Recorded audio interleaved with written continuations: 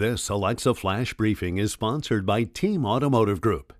Hello, everyone, from WAFB Channel 9. I'm Matt Williams with those Friday headlines. Yes, indeed, it is Friday. You've made it to it. Congratulations.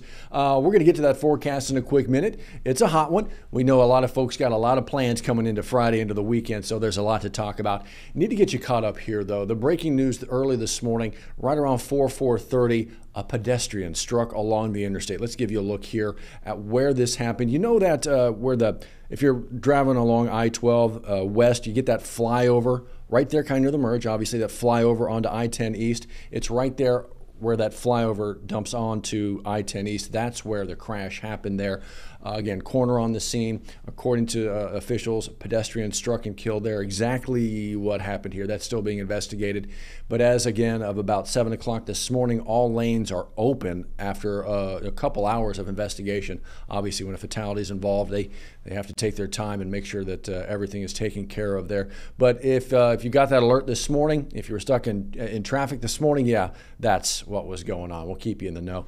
Speaking of getting in the know, uh, got to get in the know when it comes to this election coming up, or it's right around the corner, and today is the last day for voter registration week in Louisiana. Let's give you a look here. This is obviously what you're seeing here is a bunch of EBR locations, chances to register. It's uh, clearly the biggest, uh, most populated parish in the viewing area, but look, it doesn't matter where you live.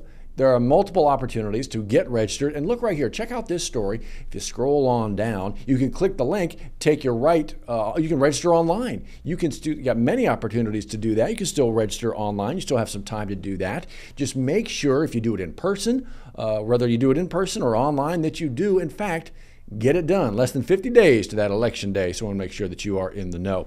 Uh, okay, let's get to some of the, the weekend happenings. It is a football Saturday, about to be in South Louisiana. Three of our four area college teams are playing at home. Southern's on the road. So we'll focus on the three home teams, including, of course, LSU. Uh, they are home of, uh, on Saturday, taking on UCLA. Our Matt Venezia was live on campus this morning, giving you a bit of a taste because SEC Nation is going to be live on campus. Uh, that's kind of uh, that's the SEC networks version of ESPN Game Day. Obviously, they travel all over the country. SEC Network travels over the uh, Southeastern Conference, and they're going to be on the campus of LSU tomorrow as LSU takes on the Bruins. Now, as big as that game is, uh, you can make the argument it ain't the biggest of the three games. It actually may be the the smallest of the three home games that our area football teams have. Here's why.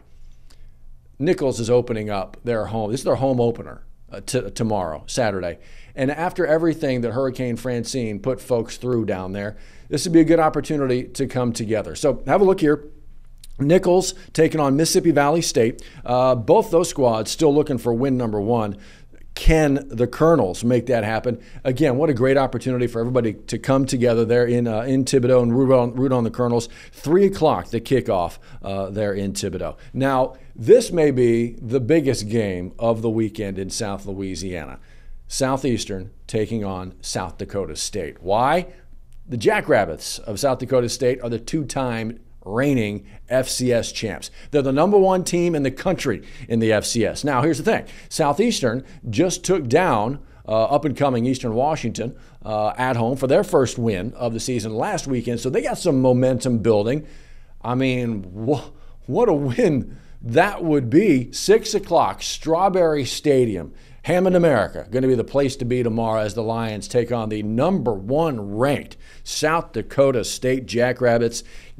Find your way to get out there. Find a way to get out there. Tailgating ought to be awesome out there. Tailgating ought to be awesome everywhere uh, in South Louisiana to get ready for some big time football.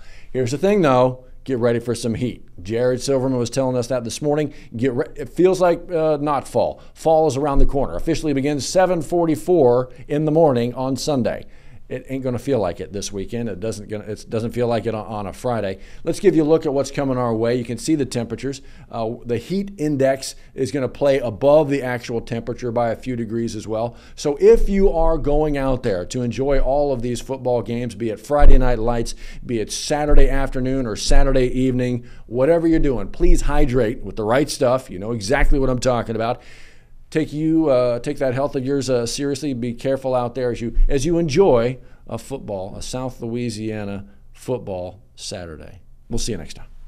Sponsored by Team Automotive Group.